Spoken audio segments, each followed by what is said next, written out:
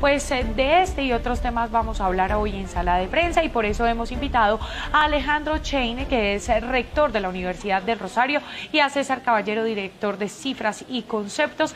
Rector, bienvenido a sala de prensa. Buenas noches. Daniela, un saludo muy especial y por supuesto para César. Te agradezco mucho este espacio, este espacio de diálogo para poder presentar la quinta versión del análisis que realizamos desde hace dos años para identificar y comprender a los jóvenes y muy especialmente identificar qué piensan, qué sienten y qué quieren los jóvenes en las regiones del país. Y que ya vamos a desglosar, rector. Y saludamos también, ustedes ven en pantalla, a César, bienvenido, buenas noches y gracias por estar en sala de prensa. Daniela, buenas noches y muchas gracias por la invitación y un gusto estar con el señor rector y con la audiencia. Bueno, empiezo con el rector del Rosario, con Alejandro. Rector, ¿qué es lo que les llamó más la atención de este estudio que ustedes hicieron? Mira, son muchos mensajes, pero voy a empezar por uno que a mí me gusta muchísimo. Sí. Y es que lo podríamos titular de esta manera. En Colombia, los jóvenes recuperan su alegría. Como tú sabes, esta medición la realizamos desde hace dos años. Y mira lo interesante. En enero del año 2020, la alegría estaba en el 66%. En mayo del 2021, tú recuerdas todas las manifestaciones eh, de los diferentes actores de la sociedad, la alegría bajó al 5%, insisto, del 66 al 5%. Pues bien, en esta medición, la alegría se recupera y llega al 56%. Y las explicaciones son muy sencillas. La primera de ellas, el retorno progresivo y seguro a la presencialidad, lo que le ha permitido a los jóvenes nuevamente recuperar ese relacionamiento con sus amigos, con su familia, con todas las personas con las cuales tienen interacción en su vida cotidiana. Luego yo te diría, el primer gran mensaje es que se recupera la alegría en los jóvenes colombianos. César, em, un porcentaje, hay un porcentaje eh, alto que va a votar. ¿Ustedes qué consideran después de haber hecho todo este estudio y estas encuestas? Sí, yo creo que hay otro mensaje muy optimista y es que los jóvenes consideran, hay una pregunta que hacemos y es, ¿usted cree que votar es una forma de ayudar a transformar y solucionar los problemas del país? Hace un año, en, este momento, las personas están diciendo que el 78% creen que sí y el porcentaje más alto van a votar en, la próxima elección presidencial. Es decir, nosotros lo que estamos viendo es que eh, los jóvenes sienten una enorme esperanza por el tema de, la posibilidad de votar.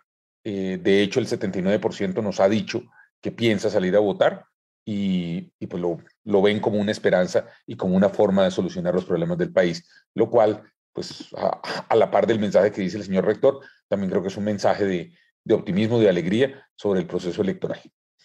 Sí, pero em, ¿y cómo es el tema de la cifra de quienes tienen claro eh, por quién lo harían, rector?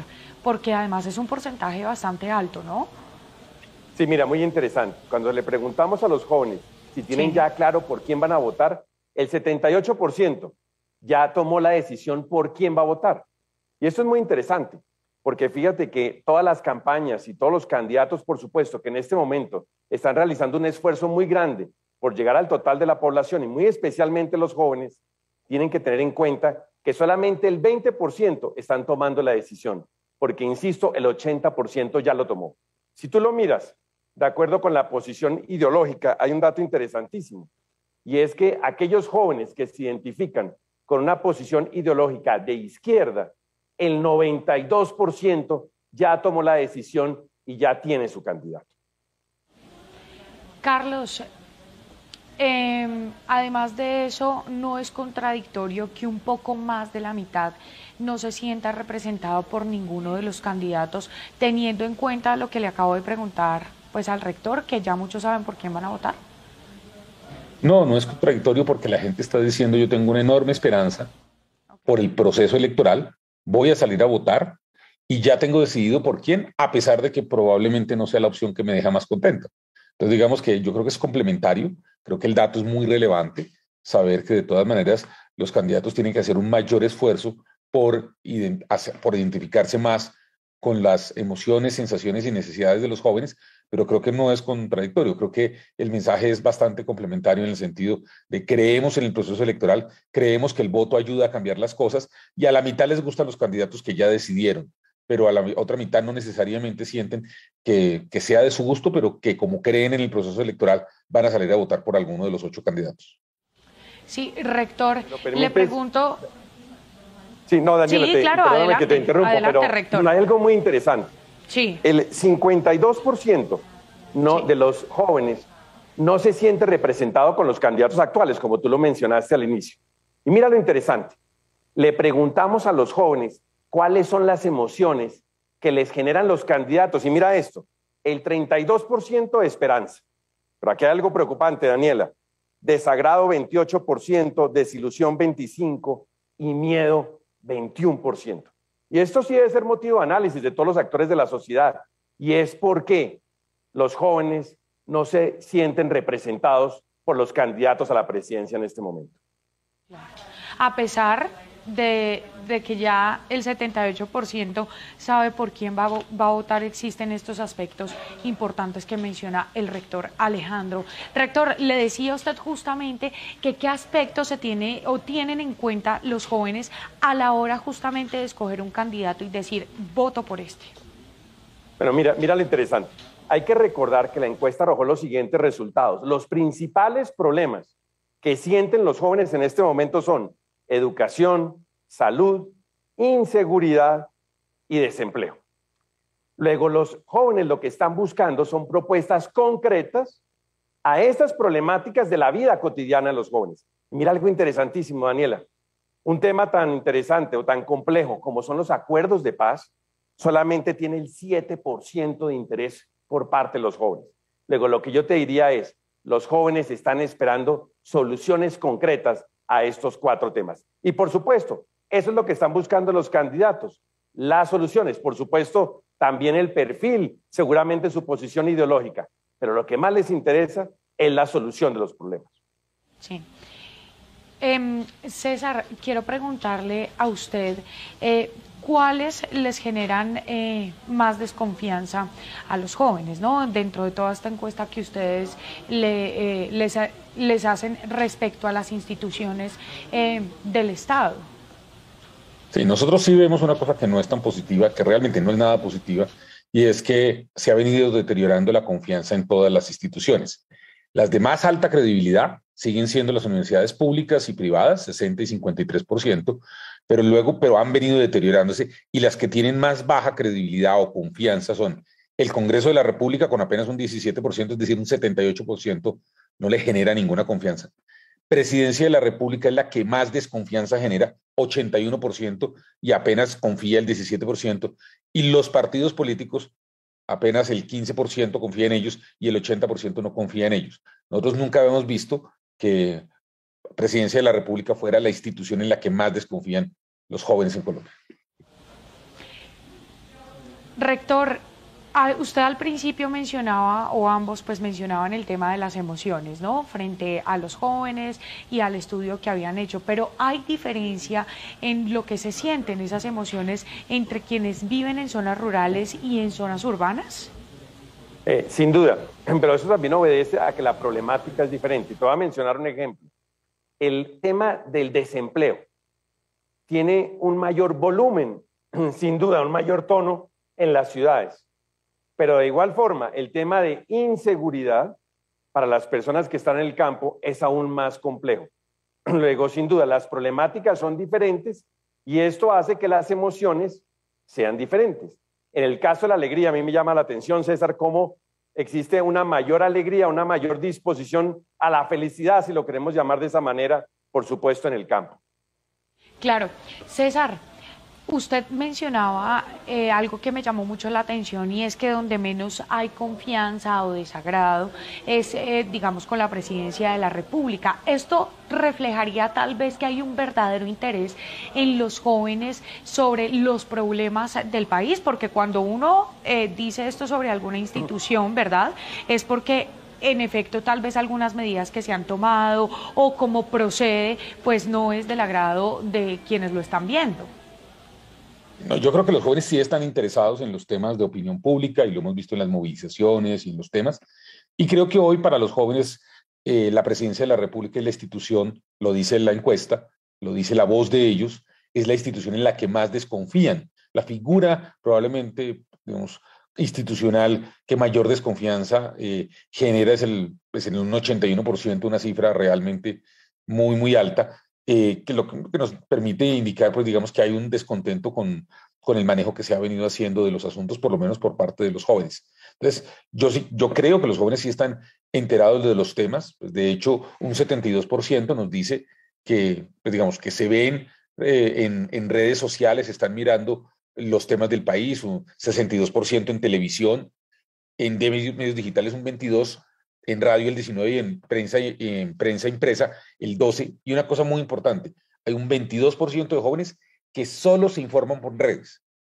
O sea, el 72% incluye redes sociales y otros medios. Pero, pero hay un 22% de jóvenes que ya solo se informan de los temas nacionales del país por redes sociales. Rector, ¿cuáles problemas les preocupan más a los jóvenes? Eh, como te decía, el desempleo, la inseguridad, el acceso a la educación son los temas más complejos para los, eh, para los jóvenes. Pero quisiera hacer un comentario con respecto a tu pregunta anterior a César. Nosotros no solamente realizamos las encuestas, que entre otras cosas, en dos años llevamos más de 10 mil, sino que además realizamos encuentros y talleres en las diferentes regiones. Y algo que es muy importante, Daniel, los jóvenes manifiestan que están aburridos de la manera como se está realizando el debate. Esos ataques, esas expresiones eh, indebidas entre ellos, lo que hacen es que les genera un mayor desagrado con respecto a las campañas que se están desarrollando. Claro, ¿se podría decir, César, que el voto joven será decisivo en estas elecciones? Ayer, digamos, yo, yo hago este análisis los jóvenes estamos, digamos, la, transición demográfica que ha vivido el país hace que en este momento las personas entre 18 y 32 años eh, tengan un peso demográfico como no se había tenido antes y es parte de lo que se llama el bono demográfico. Eh, lo que nosotros hemos visto es que normalmente las personas entre 18 y 25 años actúan mucho en redes sociales, pero no salen a votar. Los que creo que pueden ser muy decisivos son las personas entre 25 y 32, que no solamente son vocales, manifiestan sus ideas, sino que también su porcentaje de votación es bastante más alto y ahí es donde ellos pueden hacerlo. Entonces lo divido como en esos dos bloques. Los más jóvenes, probablemente los primeros votantes, no van a ser tan decisivos, pero las personas de 25 a 32 años van a ser muy decisivos. Sí, rector, ¿y usted qué opina de esto?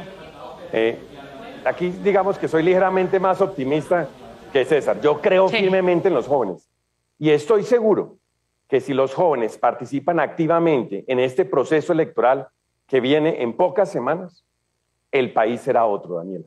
Yo creo firmemente que ellos durante estos años han manifestado de una manera pública y pacífica en las calles su deseo por transformar el país. Y esta es la oportunidad perfecta para que lo demuestren. se está cubriendo a 4.7 millones de personas. El campo se hizo entre el 7 y el 21 de abril se hicieron en total 2010 encuestas cara a cara en ciudades, eh, grandes ciudades y en municipios con zonas rurales. Se hizo solo a población entre 18 y 32 años. Participaron 112 encuestadores, 27 supervisores y un coordinador. Y la financiación es de la alianza eh, de la Universidad del Rosario con la Fundación Hans Heidel eh, y la realizó Cifras y Conceptos. Es el resumen y obviamente esto, en la ficha técnica completa está.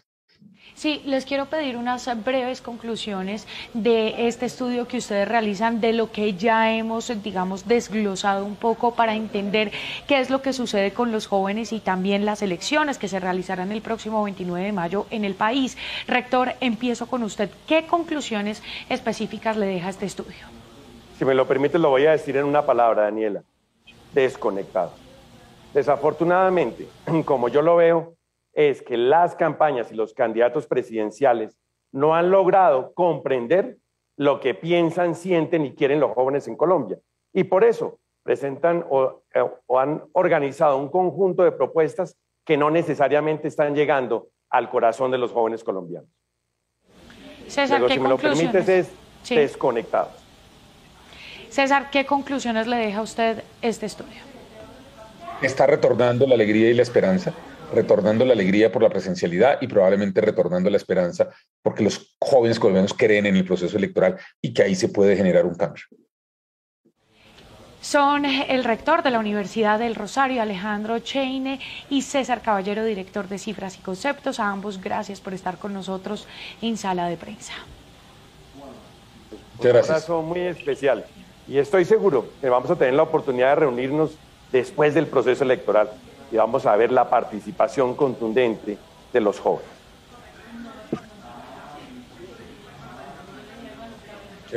Y hasta aquí, sala de prensa. Quédense con toda la programación de Noticias Caracol ahora. Hasta entonces y buena noche.